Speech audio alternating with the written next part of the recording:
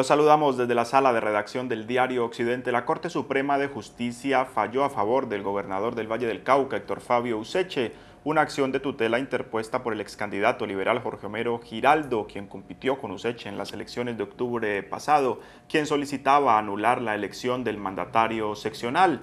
Según el alto tribunal, no hay motivos para cancelar los resultados de las elecciones, pues el Consejo Nacional Electoral certificó que no hubo fraudes ni irregularidades en el proceso electoral. En otras informaciones, el ministro de Defensa, Juan Carlos Pinzón, dijo que el gobierno colombiano dará todas las garantías para que la guerrilla libere a los secuestrados que anunció entregar desde el pasado mes de diciembre. Según el alto funcionario de la Nación, ya se adelantan los contactos con el gobierno de Brasil para que preste una intermediación y se espera solo las coordenadas por parte de la guerrilla. El diario Occidente es el primer periódico gratuito diario de Colombia. Lo encuentran en puntos de alto tráfico y en internet ingresando a occidente.co. Diario Occidente, siempre con la región, siempre contigo.